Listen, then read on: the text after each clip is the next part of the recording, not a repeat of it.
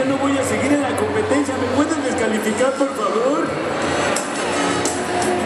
Mami, qué bueno que trajiste al pato a la fiesta. No te hagas pato y apaga las velas.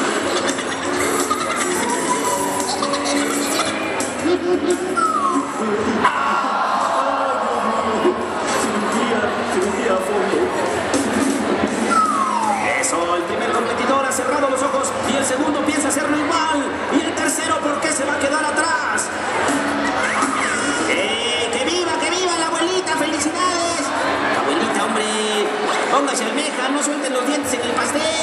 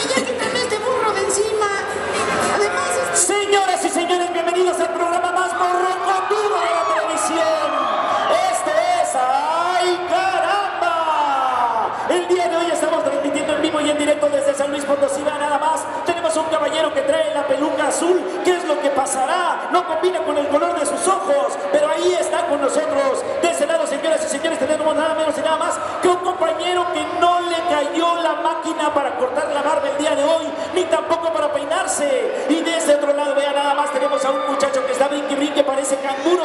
¿Qué es lo que querrá? Señoras y señores, el programa Ay Caramba de TV Azteca les acompañó a lo largo de 15 años. 15 años,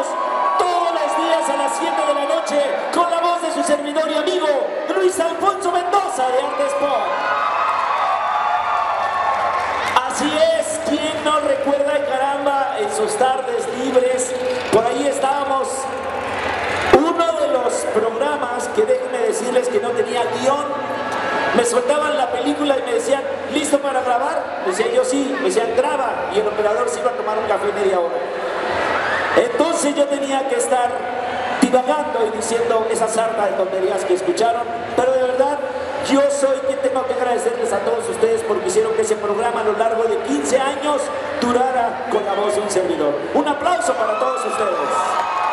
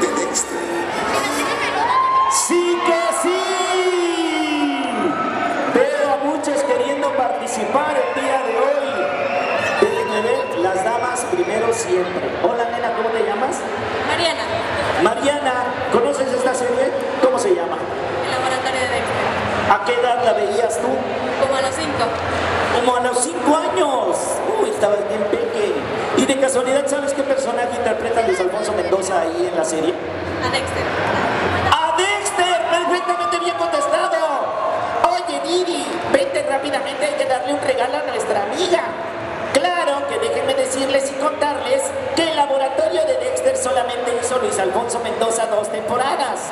Porque después no hubo arreglo económico con el director de la serie y entonces decidieron quitarme y dársela al señor Yamil Atala. Pero el inicio del laboratorio de Dexter y todas las campañas publicitarias y todo lo que se hizo al inicio de Cartoon Network, porque fue una de las series que impulsó a Cartoon Network, fue con la voz del servidor Luis Alfonso Mendoza. Continuación.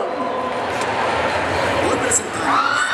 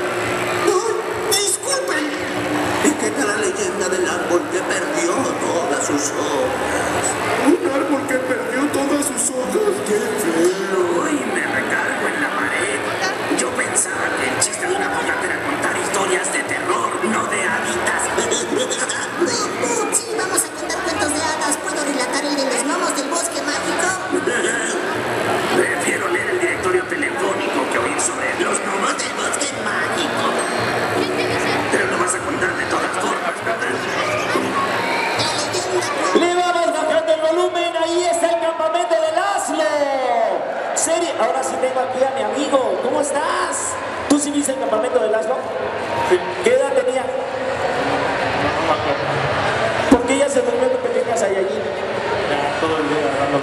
Todo el día, ¿verdad? Ustedes son los que están mintiendo. A ver a qué hora se te da la pinche gana, Luis Alfonso. Pues todo fue cosa mía, el avión no salía, este, todo eso.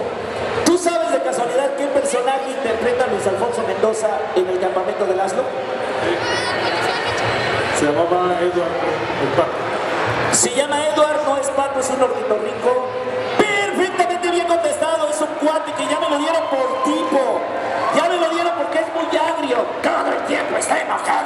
Diciendo chinga, me, me recargo en la pared, tengo que hacer esto, tengo que hacer el otro. Mira nada más a quién te llevas a Batman, mi querido amigo. Espero que con él sí seas feliz y no con Edward. Muchas gracias, muchas felicidades y un aplauso para mi amigo Edward, otra serie que también digo el campamento de Laszlo, otra serie que ha acompañado a varias generaciones, en donde Edward es interpretado por un servidor Luis Alfonso Mendoza. Vamos a ver qué tenemos a continuación, mi amigo, queremos acabarnos todos los videos.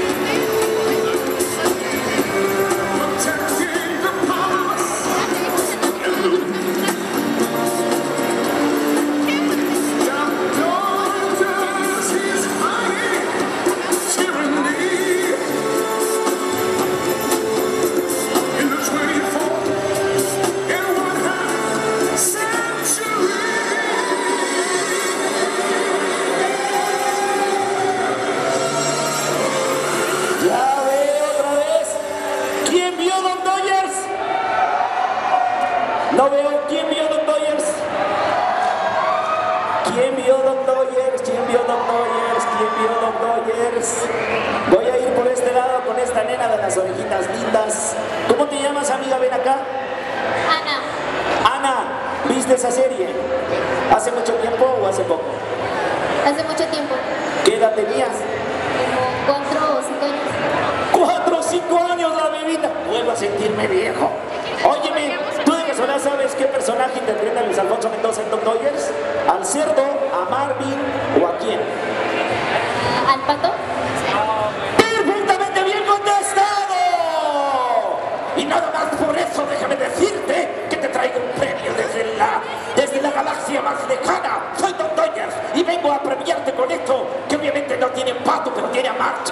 Espero que te guste, arma tu dibujo y hay que darle un fuerte aplauso a nuestros amigos de la Plaza de Tecnología que dicen que ellos están obsequiando y echando la casa por la ventana, aunque ya me quedé sin premios. Ah, no, ya me trajeron más premios. Muchas gracias, gracias jóvenes. Bueno, ahí está el pato Lucas, que nada menos y nada más en Tom Dodgers tuve la oportunidad de hacerlo. Déjenme contarles una anécdota. Luis Alfonso Mendoza hizo prueba para Warner Brothers hace muchos años.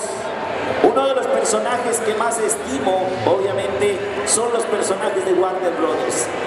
Cuando llegó la película de Space Jam, hicieron prueba Y un servidor hizo prueba y me lo quedé. Me quedé a Box Pony, me quedé a Porky.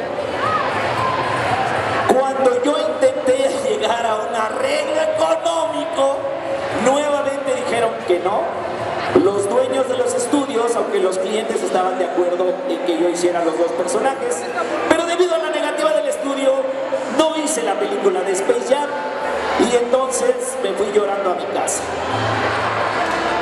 Como a los dos o tres meses me hablaron que dice mi mamá que siempre sí. Y entonces empecé a doblar todas las caricaturas y todo lo que hubiera ya nada más siendo Box Bunny. Pero obviamente había perdido la película de Space Jam. A partir de ahí, hace aproximadamente 18 años, soy la voz oficial de Box Bunny en Warner Brothers y por eso es que le vamos a presentar lo que tenemos a continuación.